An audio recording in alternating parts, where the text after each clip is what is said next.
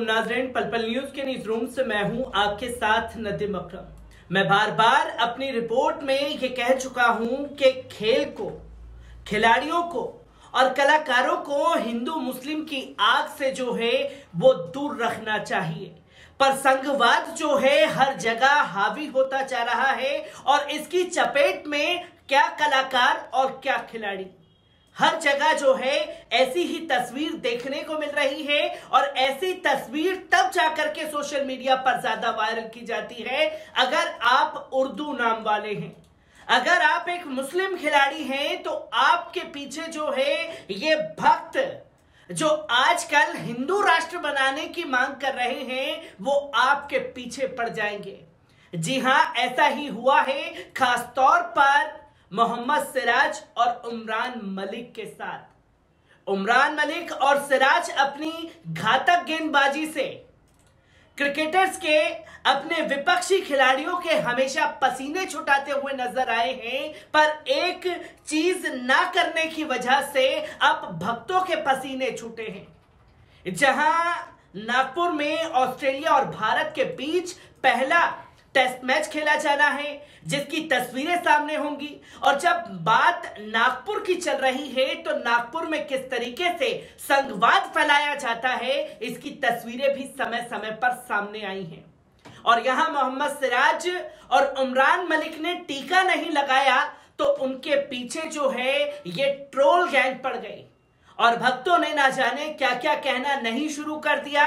यहाँ तक कि कट्टरवाद फैलाने का आरोप भी उमरान मलिक और मोहम्मद सिराज पर लगा दिया क्या तमाम बातें रखूँगा, पहले इस वीडियो पर नज़र डाल लीजिए।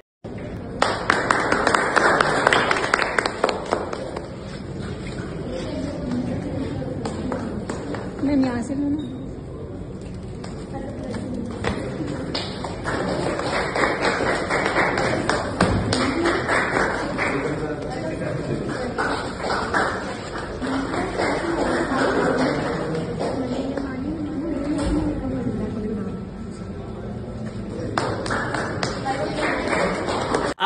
देखा कि होटल में टीम पहुँचती है, टीम के इस्तेमाल के लिए। जो प्रथा है देश की, उस प्रथा के हिसाब से तमाम चीज़ें करते हुए लोग नज़र आए। पर जहाँ धर्म की बात आ जाती है तो यहाँ सिराज ने और उमरान मलिक ने टीका लगाने से मना कर दिया।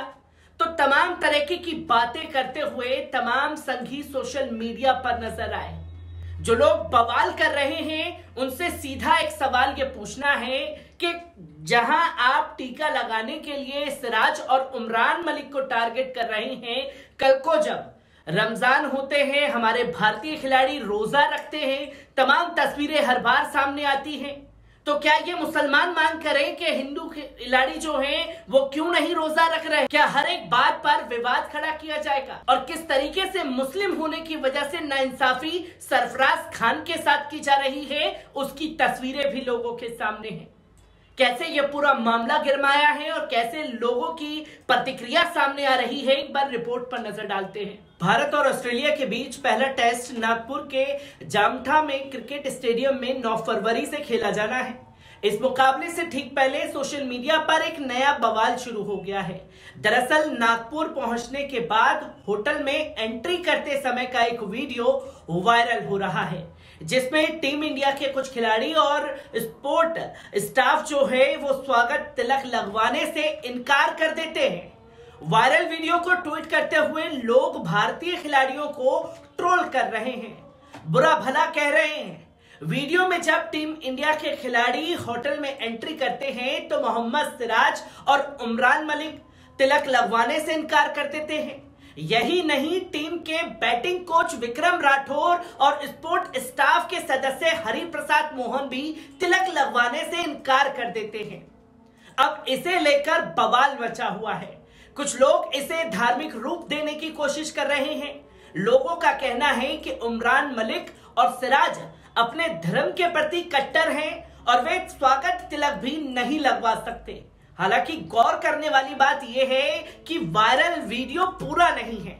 ढेरों वीडियो में विक्रम राठौर को नहीं दिखाया गया है।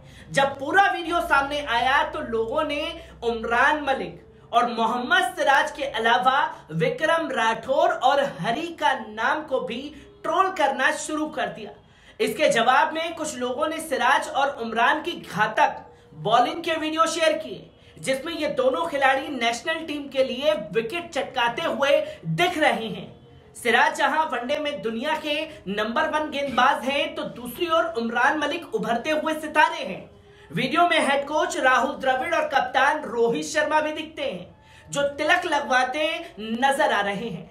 खैर, अब जब भारतीय टीम एक बड़ी सीरीज़ की तैयारियों में लगी हुई है तो ऐसे में इस तरह का विवाद छिड़ना टीम के लिए घातक हो सकता है।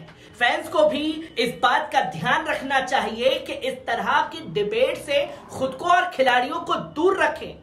आपको बता दें कि बीसीसीआई ने न्यूजीलैंड के खिलाफ आगामी व्हाइट बॉल सीरीज़ और ऑस्ट्रेलिया के खिलाफ दो टेस्टों के लिए भारत की टीम की घोषणा की। एक तरफ़ जहाँ टी के विस्फोटक बल्लेबाज सूर्य कुमार यादव टेस्ट में पहली बार चुने गए हैं तो वहीं दूसरी तरफ़ घरेलू क्रिकेट में शानदार प्रदर्शन करने वाले सरफराज खान को स्क्वाड में जगह नहीं मिली है। सरफराज खान को घरेलू क्रिकेट में धमाकेदार प्रदर्शन करने के बावजूद चयनकर्ताओं ने फिर से नजरअंदाज कर दिया। 25 वर्षीय क्रिकेटर ने 2021-22 रणजी में 122 दशमलव पिछहत्तर की औसत से चार शतक, दो अर्धशतक के साथ नौ सौ बयासी रन बनाए। उनका सर्वोच्च स्कोर दो का रहा। एक मीडिया हाउस को इंटरव्यू में सरफराज ने खुलासा किया कि वो 2021-22 के रणजी ट्रॉफी के फाइनल मैच के दौरान चयनकर्ताओं से मिले थे। वहाँ चयनकर्ताओं ने उन्हें बांग्लादेश के खिलाफ टेस्ट सीरीज़ के लिए टीम इंडिया के कॉलअप के लिए तैयार रहने को कहा था। सरफराज ने बताया कि बेंगलोर में रणजी ट्रॉफी के फाइनल के दौरान जब मैंने शतक बनाया तो मैं चयनकर्ताओं से मिला। मुझे बताया गया कि आपको बांग्लादेश में मौका मिलेगा। उसके लिए तैयार रहे। सरफराज ने कहा कि हाल ही में मैं चेतन शर्मा सर, मुख्य चयनकर्ता से मिला। जब हम मुंबई के होटल में चेक इन कर रहे थे, उन्होंने मुझे निराश न होने के लिए कहा और कहा कि मेरा समय आएगा। अच्छी चीज़ें होने में समय लगता है। आप बहुत करीब हैं। अपनी मेहनत करते जाइए।